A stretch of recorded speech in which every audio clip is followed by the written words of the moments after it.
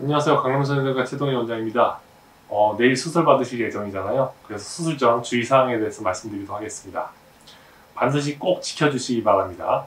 만약에 이걸 지키지 않으시면 본원에서 수술이 불가능하거나 아니면 수면 마취가 안 될 수 있습니다.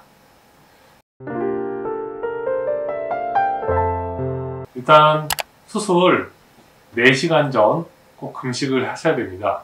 그러니까 수술이 만약에 10시다 그러면은 최소 아침 6시 전부터는 금식을 하셔야 되고 만약에 오후 3시쯤이다 그러면은 11시부터는 무조건 금식을 하시는 걸 추천드립니다.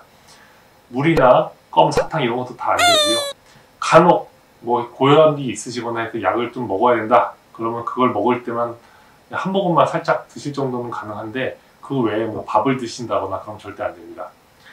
그리고 손, 발 매니큐어, 매니큐어 같은 거는 모두 다 제거를 하셔야 됩니다. 예를 들어서 뭐 손톱 같은 거 붙인 것도 다 제거를 하셔야 됩니다. 이거는 왜 그러냐면 수면 마취를 할 때 저희가 산소 모니터, 그러니까 숨을 잘 쉬는지 확인해야 되는데 여기다 이렇게 꽂는 기구가 있는데 그게 있으면은 산소 포화도가 측정이 안 되입니다. 그러면은 본인이 지금 숨을 잘 쉬는지 그런 거 판단할 수가 없기 때문에 반드시 모두 다 제거를 하셔야 됩니다.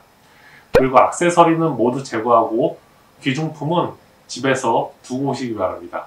왜냐하면은 악세사리는 분실의 위험도 있고 그리고 화상의 위험이 있는데 금속을 이렇게 두르고 있으면은 지혈하기 위한 기구가 있는데 그거에 의해서 화상의 위험이 있을 수 있습니다. 그러니까 반드시 제거하고 오시기 바랍니다.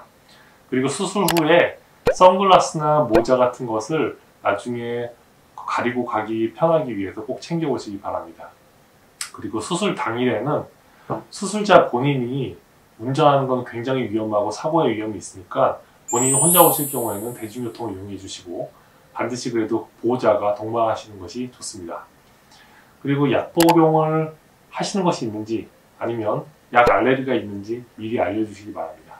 그리고 아니면 코로나 같이 그 전신 질환이 발생할 경우에는 미리 알려주시기 바랍니다. 네, 수술 잘 받으시고요. 나중에 좀 조만간 뵙도록 하겠습니다. 감사합니다.